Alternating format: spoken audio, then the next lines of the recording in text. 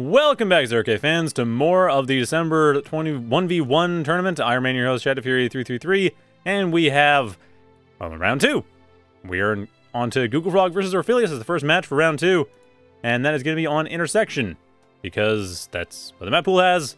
That's actually a pretty good map. I haven't seen this new version of it.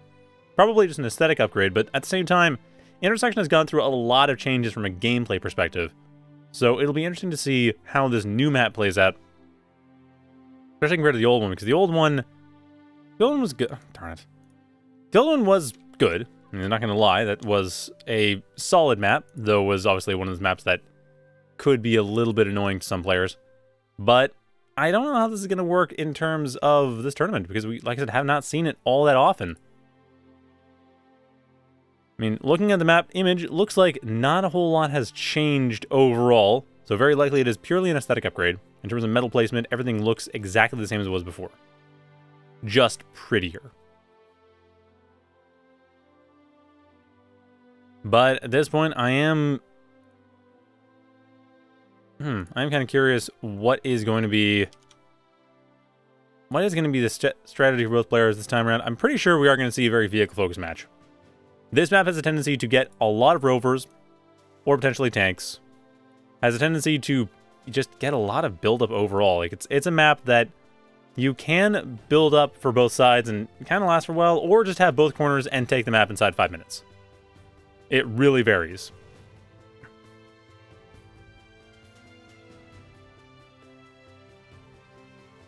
But at any rate, we are going to be moving into that, and that is going to be quite exciting moving forward.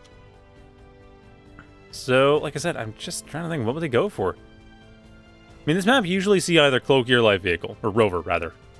That's usually how it works. It's usually not something too complex. Cloaky or Rover. Both are good, because both are able to handle the, the ground shifts, both are able to handle the...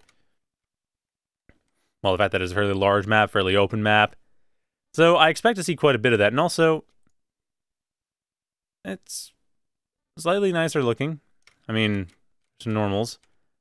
Not entirely sure where the changes came in because it's still... I guess it's not changed the way I expected it to be because I expect I guess I expected more shininess off of the concrete. But, I mean, it, it's a bit bluer. We, I mean, have a bluer sky. I'm not quite sure what was changed. Sorry, I... It doesn't look that different to me. It just looks a touch more detailed with the bump maps in the bottom. But I digress. Google Frog going for the Cloakybot Factory, as is Orfelius. Both players going for that flexible bastion of two-legged goodness. As both players also go for an early glaive, because, as always, glaive is a pretty strong choice early on. That's how you get in. That's how you get the damage done. That's how you manage to get a little bit of scouting done as well. So Orfelius putting far less into the... Oh, no, never mind. They're putting as much in their starting glaives. The difference being that they are keeping them together, which could be a slight advantage. Google Frog, however, going around the side, which will allow Google Frog to get the scouting in more reliably, as Orfelius doesn't have anything over on their eastern side. But at the same time, they might lose their glaive. Actually, they won't lose their glaive. In fact, Google Frog is in a really good spot to defend against this, whereas Orfelius, they have very quick Conjurer coming out here, but nothing to really defend it. They have one glaive, which is going forward, which is dealing with that one front glaive that came in that got some damage, but that's fine. Because at this point, the real story is that this one Conjurer will not be able to build anything before it goes down. Google Frog getting loads of value off of that one glaive. The second glaive is not coming in, but it doesn't really matter. The second glaive can just sort of hang out. And indeed, that's exactly what it's doing over to the eastern side of the map, just getting a position to work with. And already getting rid of one of Orfelius' glaives. So getting rid of a glaive and a conjurer for the cost of a glaive. Really, the conjurer on its own is value. Google Frog is way ahead at this point. And a second little harasser coming in the back. But really the story is the front glaive coming here. These four glaives could deal significant amounts of damage. If they manage to get through the Lotus, there's nothing else stopping them. And Orfelius, I mean, they have their own glaives, which Google Frog seems to realize at this point. But it doesn't matter for Google Frog. They got their advantage. They killed the worker. They slowed down Orfelius' expansion. Or just Orfelius is filling out of their main base. Not even expansion, just getting to the top plateau. But Google Frog able to expand far more efficiently as a result of that, and getting a slight economic advantage to boot. On top of the fact that they've managed to deal more damage, metal-wise. So with that, Google Frog is in a very strong position, keeping Orpheus essentially contained, as Orpheus can't easily send out any workers to the corners, since they would die to glaives. However, if Google Frog's not careful, they could lose their glaive army here, and that would open up Orpheus, allowing them to get that expansion over to the northeast and southwest. If that happened, we would have an even game. If that doesn't happen, Google Frog's going to maintain the advantage, but I see Orpheus is about to break out here. Six, seven glaives coming in over the eastern side that will stop this entire blockade from the east. The southern blockade will still go strong, but as long as one corner is available for Orpheus, they are fine. They're going to be able to expand, they're going to be able to set themselves up and get additional funding. And at this point, the economy is about even. Really, it's just a question of what happens when the first expansions happen, and the southern blockade has also been broken. So Google Frog has no way of easily stopping Orpheus from expanding in either direction. And at this point, Orpheus is in fact planning to expand to the south, which I'm not sure why. I mean, when you consider the fact that Orpheus has much greater control over the eastern side of the map than the southern side of the map, I question why the southern side has been picked for Orpheus, or this... No, never mind. Those questions are also Orpheus' questions, that Orpheus decides to go over to the eastern side of the map instead of the southern side of the map, and that is a really good choice on their part, because they kind of have to, although I really hope they're not watching the stream. I mean, I'm fairly certain there's a delay on it. I honestly haven't checked. It I'm not quite sure if OBS starts the delay if you set the delay option without restarting the stream. So, if it looks snipeable, I mean, it's probably, possibly, snipeable. I hope not, though. Regardless, Orpheus is going, taking the right direction. That is definitely the way to go. Go over to the eastern side of the map. Go where Google Frog has not set up. Don't try to contest it yet, because at this point, Google Frog does have a slight army advantage. Definitely a slight economy advantage. And a slight size advantage. They definitely have more Scythes, as Orpheus has built none. But Orpheus does have a position they can come in with here. I mean, nine glaives, with the right positioning, with the right right approach vector, they might be able to get some damage in. I don't see them getting into these hammers, though. But they can at least make sure the hammers don't go any further forward and get a little bit of vision as well, just so they know what Google Frog's up to. Problem, of course, is the hammers are getting rid of the, the pickets no problem, and Orpheus doesn't really have much of an answer while at the same time, Google Frog just getting free scouting. They just know exactly what Orpheus is up to. And that is clever. Like, put a scythe in the way, get that set up, and that should work. While at the same time, Orpheus basically losing everything to a Napoleonic style push from these glaives, and that is it. Orpheus deciding, well, I've lost my commander, lost my glaive army, not much I can do. Throws in the towel. That is game Google Frog having a solid advantage from the word go. And only making five minute game, that was... That was not what I expected.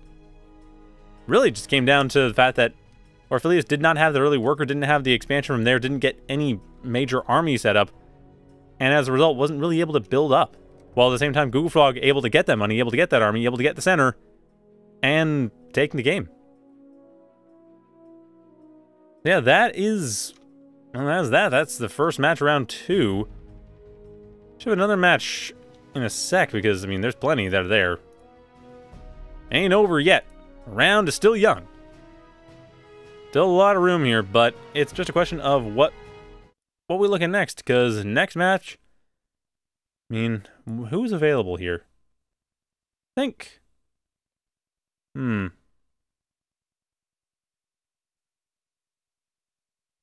I'm kind of curious about what's going on between Oh, I can see we have already done their match apparently. Or haven't started. So let's go with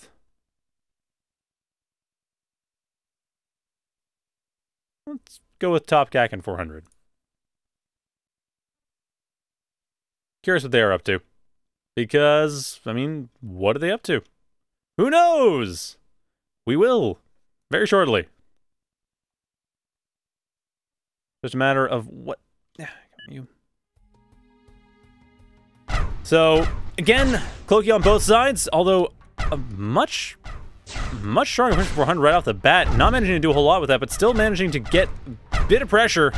At the very least, forcing Topkack to build their army. Topkack has managed to get enough of an economy, and the map is pretty evenly split, so at this point, Topkack able to get quite a bit of damage in, but no one managing to get any real advantage. So, unfortunately, there is not a whole lot going on here that Topkack is able to take advantage of, or 400. Both players have solidly lost their armies on multiple occasions thus far this game. But Topkack, actually losing the Northeast, should be able to maintain that quickly, or get back to that quickly enough, but the question is whether or not they're going to be able to make use of the Ravens to do so. And it looks like they don't even care to do so. They just want to take the center. Or hold the center, rather. They already have the center. It's just a matter of whether or not they can hold it and push forward from there. Because that is a big advantage to have the center on this map. If you have that, that's a staging area.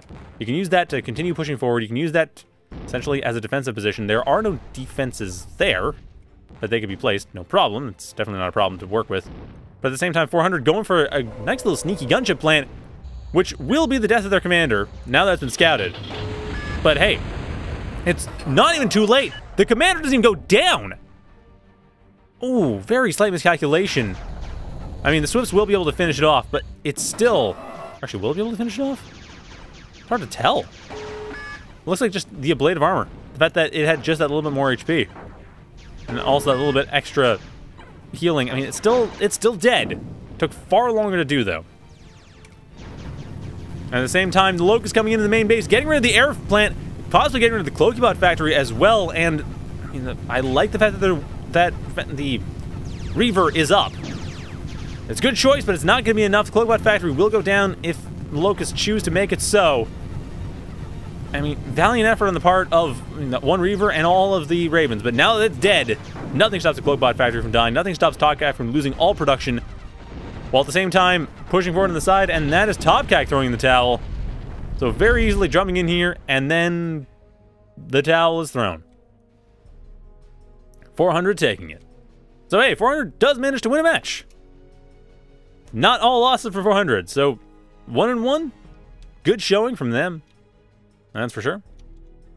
So at this point, it looks like we have a couple of round two matches done. Ikins has beaten Nemor. Guyop had done from not sure how that's going yet.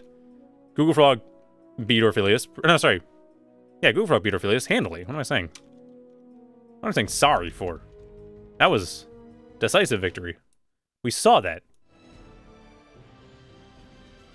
And now, of course, we see that 400 has managed to take a game off Topkack. So at this point, we are going to be in a bit of a bit of an odd situation. I'm not quite sure who is most relevant now because I thought, oh, hey, Topkack 400, that's pretty even, even match. But at this point, it's actually kind of hard to say. Hmm. I think we'll check out Hokomoko and Pokadrool. We haven't seen Pokadrool yet. So I'm curious what they are up to. I like that is a brand new player. That is someone I've never seen in this game before. So I want to see what they're doing. I want to see if they have everything anything up their sleeve. And I apparently am supposed to want to see Skazi, but that's not really who we're watching right now. So anyway, Pokadrool starting out with the Cloakybot Factory. Well, again, Hokomoko and Cloakybot, this is Forget what I said about rovers, apparently. Rovers are clearly not the meta for this map. Anyway, Pokadrool with a much more defensive opening. Not surprising considering they are a newer player. But it's still working out pretty well. They managed to hold this long enough and managed to not lose too much from the economy. They could get the reclaim in and use that to take the game. Or at least take more of the map. But at this point, Hokomoko does have a very solid advantage on the map of Pokadrool, relying entirely on static defenses to keep themselves in the game. Static defenses and well, I would say sides, but they just lost both their commander and a factory. So they haven't really got much, all things considered. And Pokadrool should be losing his Hokomoko coming in here. While Pokadrool is getting a bit of damage in from the sides, Hokomoko is way too much in the main base. Way too much of an economy to make, to make that work. And Pokadrool, it's just a matter of time as they lose their base. Right as we come in here, the towel is thrown. Really just a highlights reel of all the matches coming in as, like, come in? GG. I come into the next one, GG. I think we're just going to take a break until round three starts because it's pretty clear that this round, a lot of the interesting matches have already happened. And the ones that haven't, well, I mean, 10 minutes is still a reasonably long match in this game. So, just wait on round three, and until then, stay tuned.